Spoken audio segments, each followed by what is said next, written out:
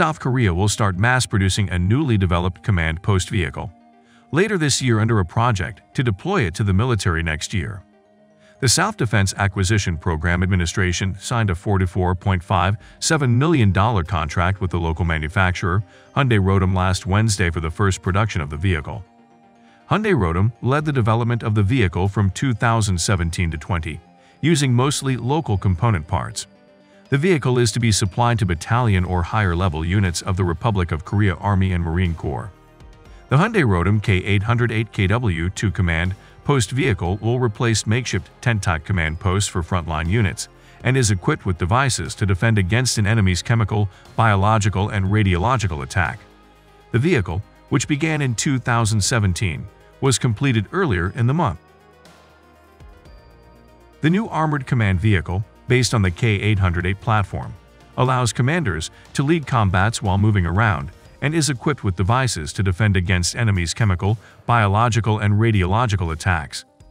The K808KW2 will use to provide means to receive information, analyze and transmit data, and control forces carrying out combat missions.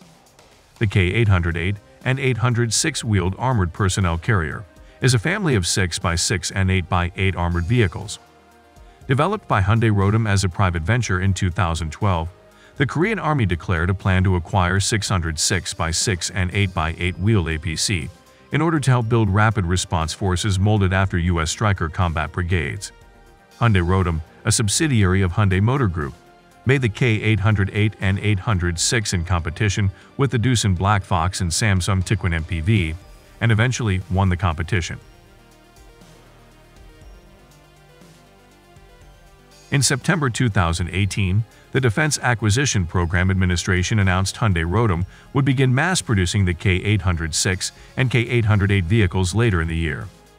The vehicle was fitted with a Hyundai diesel engine developing 380 horsepower, but later this engine was replaced with another Hyundai engine developing 420 horsepower with a 7-speed transmission and 2-mode secondary transmission. This engine is used in 8x8 configuration. The vehicle has an automatic driveline management system, central tire inflation system, and run-flat tires. The K808 is fully amphibious, propelled by two water jets, but the K806 is not. The K808 and 806 have an all-welded armored hull that provides protection against small arms fire and artillery shell splinters. It can be fitted with add-on armor for a higher level of protection.